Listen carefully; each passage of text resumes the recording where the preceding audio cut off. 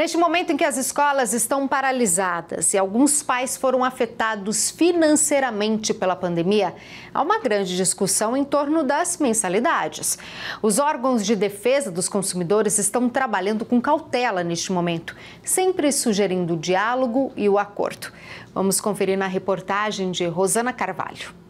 Diretor do PROCON, Arnaldo Vieira, afirma que neste momento em que houve uma redução no ensino por causa da pandemia, é importante que pais e escolas busquem a negociação para evitar que haja casos de inadimplência. Essas escolas estão tendo redução em energia, água, eh, segurança, limpeza, materiais.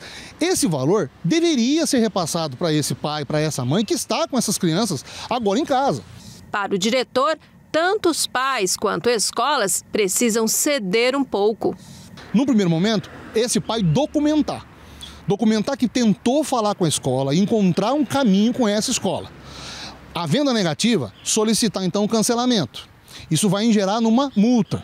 Essa multa também pode ser negociada, aliás, ela deve ser negociada. Em alguns aspectos, os valores das mensalidades que já foram pagas abateriam exatamente do valor da multa. Mas em toda situação, documentar. Caso não haja negociação de forma alguma, que esse pai procure então a gente. A gente vai formalizar uma reclamação e tentar novamente interceder.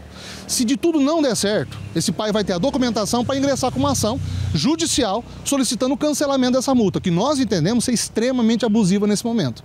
Ele afirma ainda que, mesmo após a quarentena, a educação infantil não terá como repor as aulas perdidas e orienta. Com a anuência do Ministério da Educação, tiveram portarias que, resol... que resolveram a redução de carga horária, o aumento da carga à distância e redução de carga anual, é, total anual. Só que numa criança, uma escola infantil, eu não tenho como repor uma aula para essa criança. Como é que eu vou repor uma aula para uma criança de dois anos de idade?